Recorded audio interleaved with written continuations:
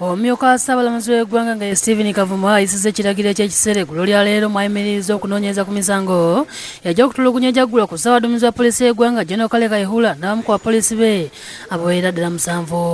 No ebadde mu kooti etaputa ssemateeka etuula mu kampala. Bano kuliko andrew kagwa james ruhweza samuel wamuzibiire patrick muhumuza wizilinganizi ne moses nanoka. Bano munana baali bayitibwa omulamuzi chad mafaabi owa kooti y'e makindye ekiragiro kino kiddiridde omulamuzi kavuma okufuna okwemulugunya okuva eri munnamateeka w'omu kampala robert lutalo ng'asaba kooti ya ssemateeka okuyimiriza okunoonyeza ku misango gino applicant filed constitutional petition number 27 of 2016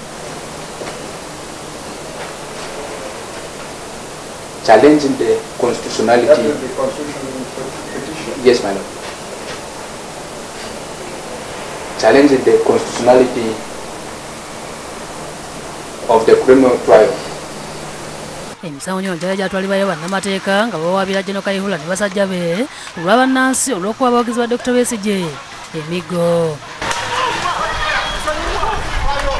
yedde nsibirege nga yakulira ebyamateeka mu ofiisi ya ssaabawolereza wa gavumenti naye abadde mu kooti akiziganyizza ne lutalo era n'ategeeza nga bwatalina mutawaana gwonna nekya geno kaihula okugaana okugenda mu kooti lutalo okusaba kuno akuyisizza mulamuzi simon byamukama era n'asaba kuwulirwa embagirawo oluvannyuma lw'okukitegeerako nga geno kaihula bw'asuubira okulabikako mu kooti ku bbalaza ya sabbiiti ejja yeewozeeko. Agamba nti omusawo oguvunaanibwa geno kaihula tegutegerekeka kubanga tebalambikana kika kyakutulugunya ekyogerwako. Ekivunaanibwa bakuumaddembe agamba nti kuno kulinyirira ddembe ly'omuwawaabirwa ekikontana ne ssemateeka afuga eggwanga lino. Kyokka mu kiwandiiko kyekiseera kifulumiziddwa mulamuzi kavuma ategeeza nti yeesigamye ku njuyi zombi ez'oludda oluwaabi sako n'oluwawaabirwa bwatu n'asuubiza okwongera okuttaanya ku nsonga eno. Senfuma innocent yakusakidde eggulu eno ku lwabukedde tv